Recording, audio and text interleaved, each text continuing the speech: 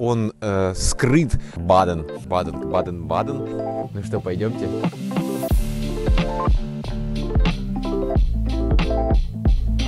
Ну что, друзья, а я продолжаю бежать по Германии. И я побежал в ее солнечную часть, потому что зима, потому что холодно, потому что не хватает солнца. Э, и мой путь э, был проложен в самый солнечный, самый теплый немецкий винодельческий регион. Он называется Баден. Э, конечно, сейчас трудно представить, что этот регион такой, потому что он сегодня окутан туманом, в ине все виноградники. Но здесь, поверьте, действительно самое большое количество солнечных дней в году. Виноделы других регионов говорят, что Баден просто э, избалован солнцем, согрет солнцем, купается в солнце. Э, здесь теплее, чем в других регионах. Он входит полностью в зону Б. Э, что такое зона Б? Большая часть виноградников Германии находится в зоне А, более северная зона, более прохладная. Дальше идет зона Б, более теплая, также север Франции к ней относится. А потом дальше по мере продвижения южнее уже будет зона С, еще более теплая. Соответственно, так как здесь теплее, так как здесь больше солнца, то здесь можно выращивать э, не только рислинг. И, собственно, в бокале у меня как раз вот он, не только рислинг. Один из моих любимых э, не только рислингов, это шпетбургундер. Здесь он находит для себя много приятных мест для произрастания. Э, он очень значим по площади посадок. Вообще регион интересный, многогранный. Из этого места мы начнем открывать для себя винодельческий Баден. Пойдемте со мной.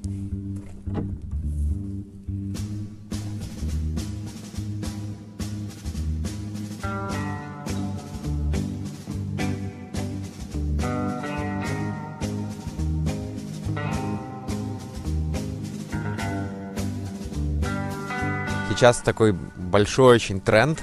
Э, это бургундские сорта винограда в Германии. Э, есть регионы, которые отдают им большое почтение, и Баден как раз такой регион. Э, здесь большая площадь посадок. Вообще в Бадене э, более 15 тысяч гектаров виноградников. Это третий по размеру винодельческий регион в Германии. Э, для Германии это много, но вообще в целом для всего мира это совсем чуть-чуть. Здесь большая площадь посадок э, не рислинга. Здесь выращивают пино-нуар, который в Германии называют шпетбургундер. Здесь выращивают пино-блан, который тут называют вайсбургундер, белый бургундский. Здесь выращивают пино гри, который тут называется каубугунда серый бургундский. А, и вот здесь мы как раз на винограднике э, пино нуара шпетбургундера.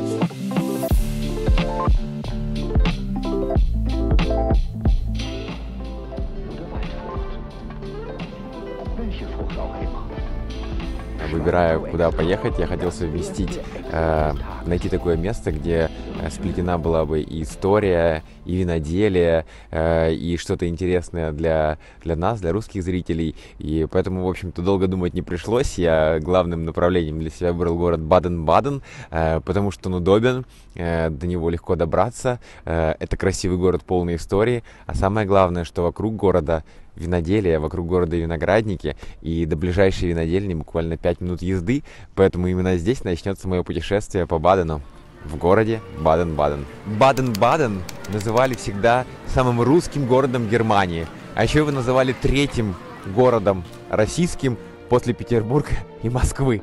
Э, и здесь всегда было очень много русского населения. Э, здесь всегда, всегда модно было приезжать на лечение, на воды, для развлечения. Ну как вообще это все сложилось? Почему так получилось? Самый первым, наверное, стоит вспомнить тот факт, что принцесса Баденская Луиза в 1793 году сочеталась браком с будущим императором э, Александром Первым. Но все-таки массово русское население открыло для себя этот город после победы над, Наполеоном, когда э, царские войска э, уходили, возвращались в Россию из Парижа. Э, они, генералы, открыли для себя этот город на обратном пути, э, его благоприятный климат, воды, э, индустрию всю, которая здесь создана для отдыха. И через некоторое время вернулись сюда со своими семьями, со своими детьми и стали возвращаться сюда регулярно. Таким образом, город приобрел такую очень большую славу. В Баден-Бадене кажется, что жизнь остановилась, мгновения остановились. И ты себя чувствуешь так же, как, наверное, чувствовали наши соотечественники в 19 веке, приезжая сюда лечиться. Э, кстати, тогда в Баден-Бадене говорили, что э, сюда приезжают не больные, сюда приезжают здоровые, приезжают за социальной жизнью, за красотой, за умиротворенностью, чтобы э, общаться, общаться на салонах, играть в казино, пить местное вино, ну и, конечно же, пользоваться лечебницами. У меня за спиной э, знаменитое казино Баден-Бадена. Э, это было одним из мест привлечения внимания э, вообще как бы людей со всей Европы. И это казино считается одним из самых красивых казино в мире. Марлен Дитрих, которая шутила и говорила, что знает все казино в мире, заявляла, что это казино самое красивое крайней мере, с ее точки зрения. Э, построено оно было в 1821-24 годах и привлекло сюда большое количество игроков. Э, здесь 1863 году Федор Михайлович Достоевский проиграл все деньги, э, остался вообще ни с чем, ему не на что было ехать обратно. А чуть позже, в 1867 году, э, он играл здесь 5 недель и дошел до того, что даже проиграл обручальное кольцо своей жены. Э, именно после этого, э, после посещения казино Баден-Бадена, Достоевский написал свой, э, свой, свой шедевр «Игрок». У нас в России подобное невозможно. У нас сейчас большое число русских играет на рулетке. Но, по-моему, они даже и к игре-то не способны. А, по-моему, рулетка только и создана для русских. Я лучше буду дебоширить по-русски. Или разживаться на рулетке, чем стану Гоппа и Компани через пять поколений. Это возмущает мою татарскую породу.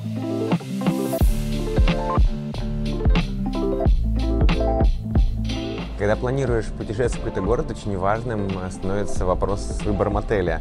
Э, Баден-Баден не исключение в таком случае. Баден-Баден предлагает множество возможностей, но один отель мне показался особенным, интересным. Вообще у сети Rumors э, три э, отеля. Это Мюнхен, это Франкфурт и Баден-Баден.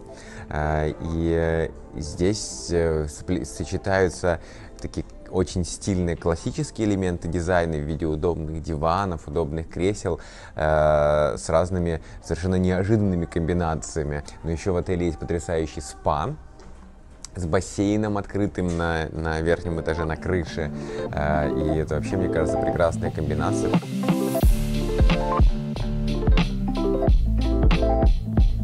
Здесь, когда ты находишься возле холма, становится четко э, понятно, в очередной раз понятна концепция теруара. Потому что теруар — это все факторы, которые влияют на стиль вина.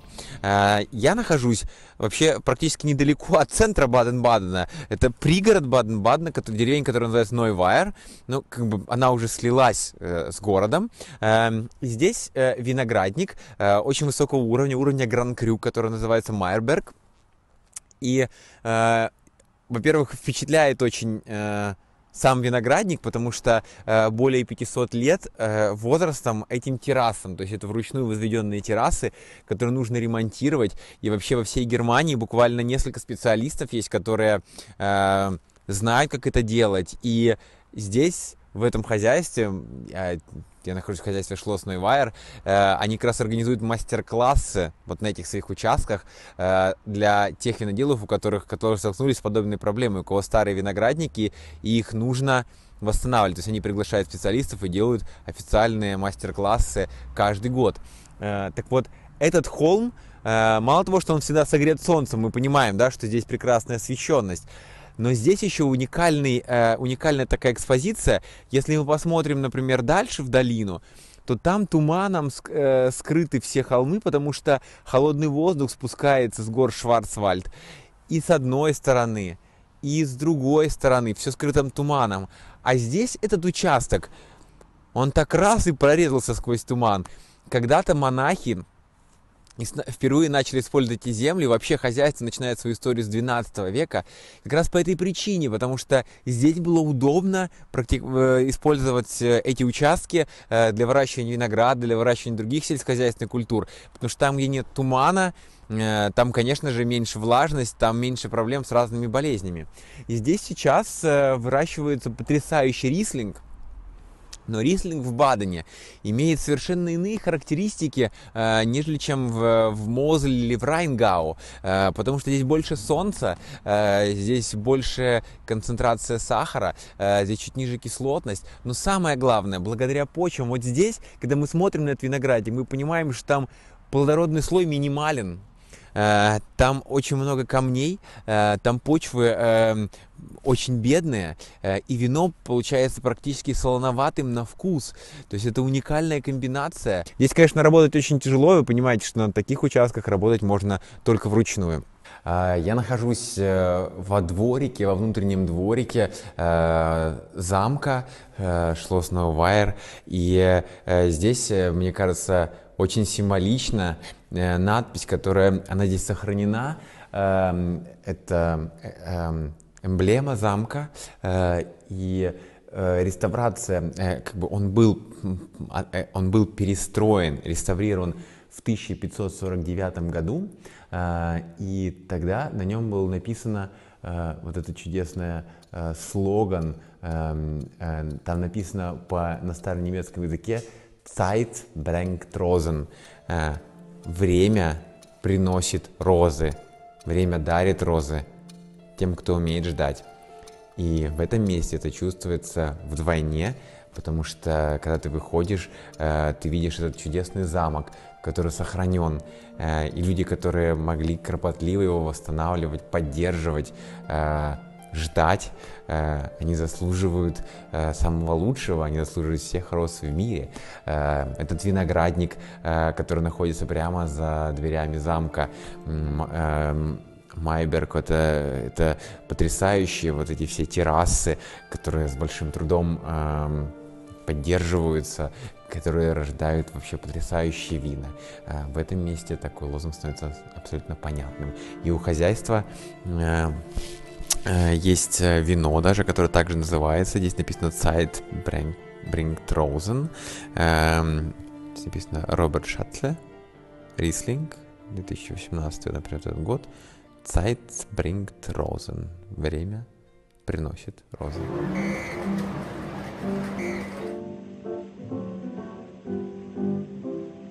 У меня в руках э, историческая винная карта. Эм, это э, настоящая винная карта из отеля Ридс Карлтон в Нью-Йорке 1913 э, года. Майнлист, Ридс Карлтон, Нью-Йорк, 1913-1914 года. Э, и я очень люблю такие вещи, может, конечно, потому что я э, первоначальное образование историческое получил. Но здесь все э, вообще интересно прослеживать всю историю развития виноделия немецкие вина. Здесь раздел в карте называется Хок, потому что все, что вокруг э, Франкфурта, в области Франкфурта, э, тогда называли Хок э, американцы. Э, посмотрите э, в эту винную карту. Э, пожалуйста, внизу Шлосс, э, Нойвайер, Майерберг, Ауслезе. 1911 э, года. Э, если мы посмотрим на цену, 2. Эм, э, в общем-то, кажется, как что так, почему это стоило настолько дешево. Но если мы сравним это с какими-то другими винами, например, мы сравним это с вином, например, с Пантекане. Пантекане стоило столько же. Ну, а если мы посмотрим э, на Бургундию, например, э, что мы увидим? Шабли Мутон. Э, Мутон – это э, отдельный виноградник э, Гран-Крю в Шабли, который принадлежит хозяйству Домен Ландепаки, 2,50. Эм, а а шлосной вайер стоит 2. Э, то есть они как бы в одной цене практически находятся. Э, то есть это мы находимся в историческом мене, которое всегда было известно. Э, вообще, конечно, интересно, насколько э, немецкие вина э, были популярны уже тогда, ведь Германия славилась ими. И здесь в этой винной карте есть и, и Шлосс Йоханнесберг э, со своими винами. Здесь есть их э, кабинет. Здесь есть э, ш, вино с виноградника Шлосберг, на котором я уже был. Э, и причем э, Посмотрите, Рюдисхаймер, Шлосберг, кабинет Бернауслезе стоит 8,50, а если мы посмотрим на Шато Мутон Ротшильд 81 года, 1881 года, он стоит 7. Шато Мутон Ротшильд 81 года и Шато Марго, и Шато Брион, они все стоили дешевле, они все стоили дешевле, чем Рюдисхаймер, Шлосберг, э, Беренауслеза. Германия должна вернуться на такие же позиции.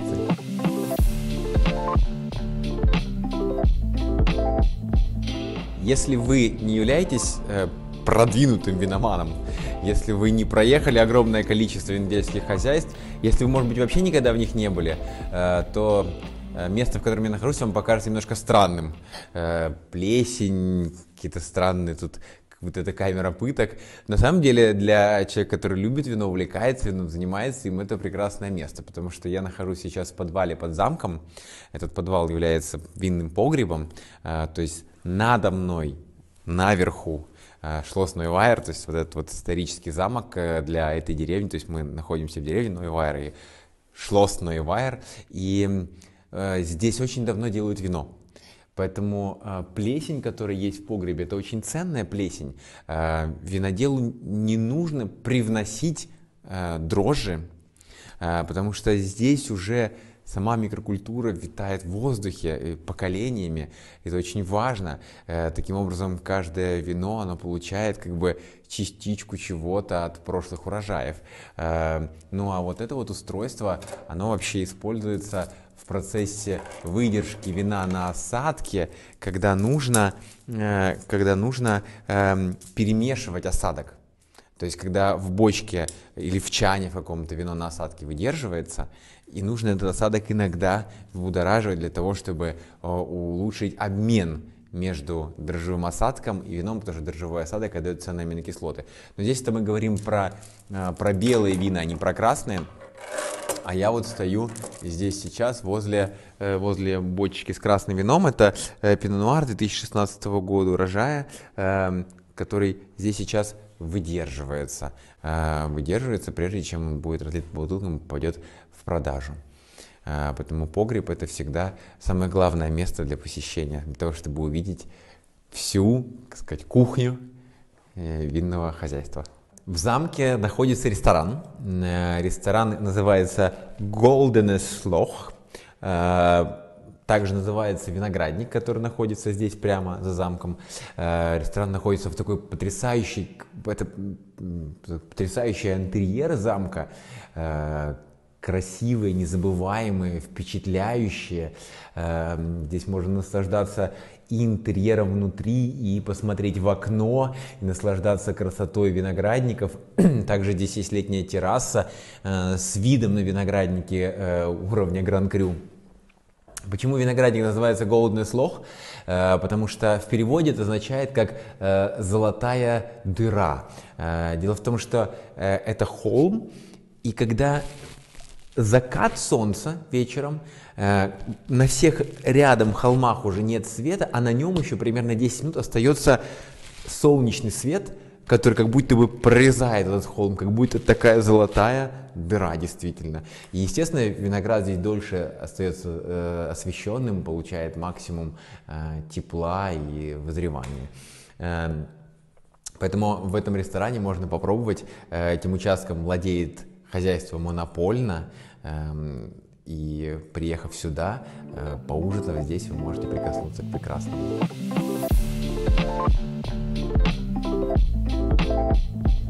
Если мы представим себе карту Германии и ее границу с Францией, э, то граница проходит э, вдоль Рейна. И с одной стороны Рейна, на севере Франции, горы Вагезы, и там регион Эльзас. С другой стороны Рейна горы Шварцвальд, и вот здесь вот э, прямо э, примостился регион Баден, э, то есть он э, скрыт от всех ветров, укрыт от всех ветров, от э, влажных ветров, прохладных, этим горным массивом. И здесь виноградники находятся на холмах, утопают в лесах.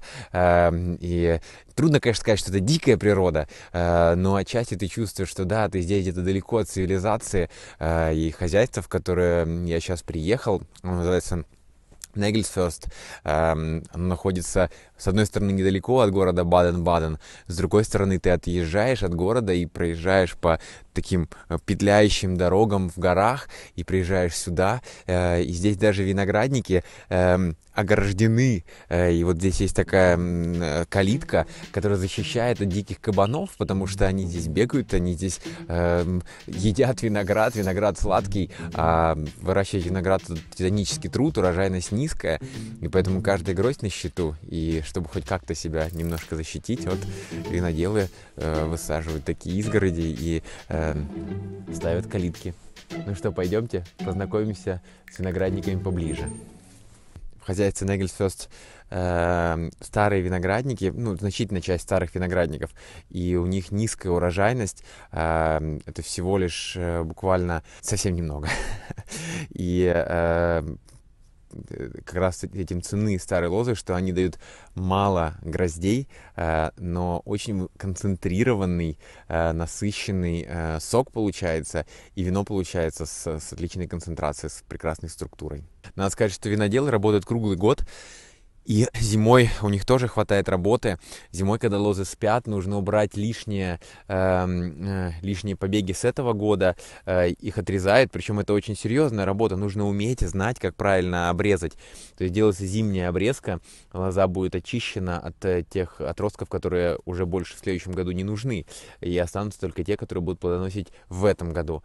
И первый этап это когда все срезается, второй этап, когда проходится и собираются уже эм, эти срезанные разные отростки.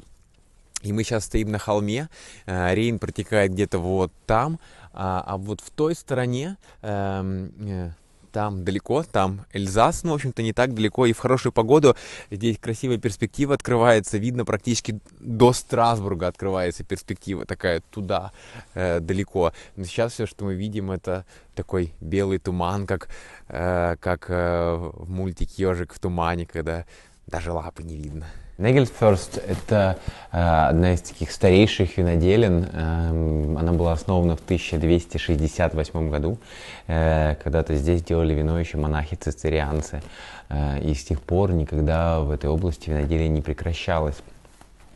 И сейчас э, такой как раз интересный э, момент, когда э, ты приходишь на винодельню и понимаешь, что здесь сталкивается э, там, многовековая традиция и современность, э, то есть старые виноградники э, и и при этом в погребе есть современное оборудование. Но это современное оборудование вмонтировано в старые маленькие помещения.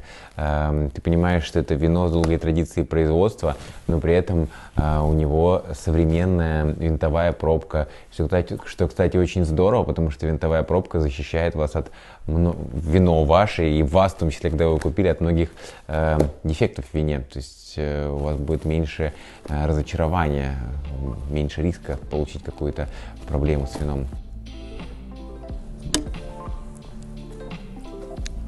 Ой, а можно еще, пожалуйста? Очень уж он замечательный.